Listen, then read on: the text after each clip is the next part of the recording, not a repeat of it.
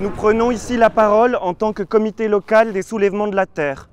Dans un premier temps pour montrer publiquement tout notre soutien aux personnes mises en examen aujourd'hui.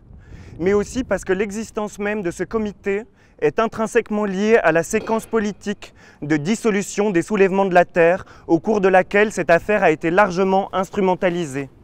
Les prochaines prises de parole, celles de la Quadrature du Net et celles de la Ligue des droits de l'homme, reviendront probablement plus en détail sur cette question.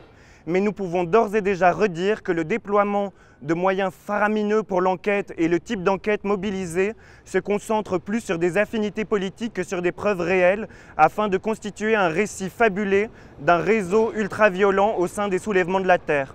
Cela pose une question cruciale.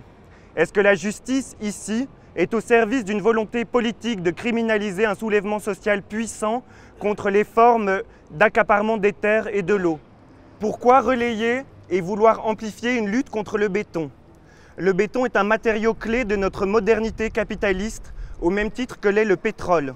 Vouloir développer une critique du béton, ce n'est bien sûr pas s'attaquer aux travailleurs travailleuses des cimenteries ou travailleurs travailleuses du BTP mais bien plutôt montrer la violence systémique que ce matériau engendre.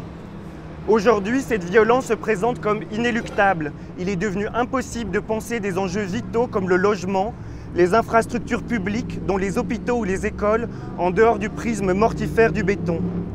Cette capture du bâtir par le béton se lit bien dans l'obscénité de l'opposition factice entre la lutte pour des logements dignes et la lutte contre le système écocidaire du béton armé, on ne pourra pas répondre à la crise du logement avec les crises qui ont conduit à cette crise.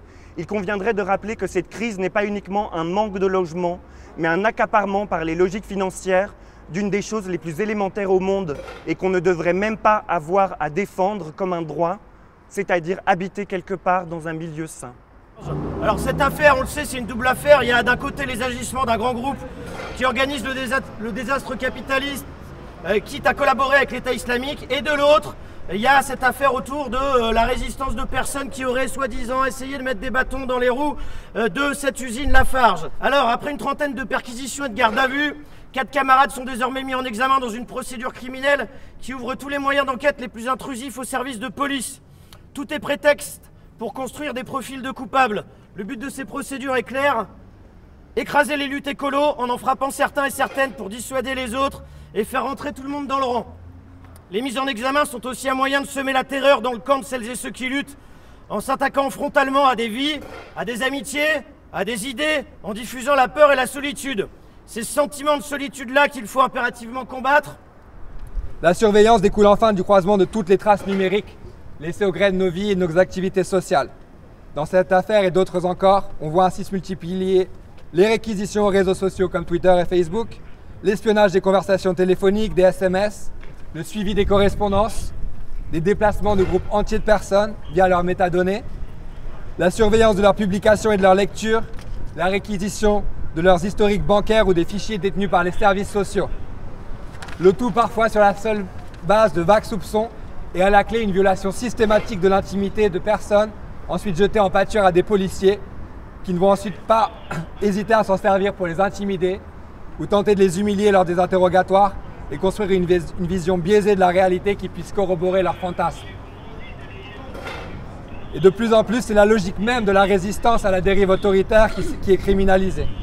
Vous utilisez des logiciels libres, vous cherchez à utiliser des services alternatifs aux grandes multinationales qui dominent l'industrie de la tech et qui s'imbriquent dans les systèmes de surveillance d'État. Cela va suffire à vous rendre coupable, comme le révèle l'affaire du 8-12 jugée il y a quelques mois. Vous utilisez des services recourant à des protocoles de chiffrement pour protéger le droit à la confidentialité des communications. On pourra recourir à des spyware et autres mesures d'intrusion informatique pour les contourner et aspirer le maximum de données contenues dans vos ordinateurs ou smartphones. C'est ce dont a été victime le photographe mis en cause dans l'affaire Lafarge. Vous refusez de livrer vos codes de chiffrement lors d'une garde à vue. On, retiendra cela contre vous et on intentera des poursuites quand bien même la prétendue infraction censée légitimer votre garde à vue s'est avérée tout à fait grotesque. C'est-à-dire que face aux crises qu'on traverse, et il n'y a pas euh, d'histoire sans crise, euh, qui sont des crises diverses mais qui se, qui se conjuguent, que ce soit les crises politique, géopolitique, sociale, économique, euh, identitaire, culturelle, sanitaire il n'y a pas si longtemps, et sûrement demain à nouveau, et euh, écologique évidemment. Face à ça, il y a une espèce de, comment dire, euh, d'ambiguïté de l'État en place, de, double attitude. Il y a la main gauche chère à Bourdieu qui est plutôt faible et qui signe par exemple l'accord de Paris en 2015. Et comme l'État est droitier, la main droite euh, met le paquet pour euh, le contrôle social, pour euh, contrôler cette société qui réagit en fonction de ce qu'elle vit. L'État est, faible avec les forts et fort avec les faibles. Mais les faibles, ils ont la légitimité de leur entêtement en quelque sorte, qui est celui des, des saxifrages. Je ne sais pas si vous connaissez ces plantes qui fracturent les roches et le béton. Voilà.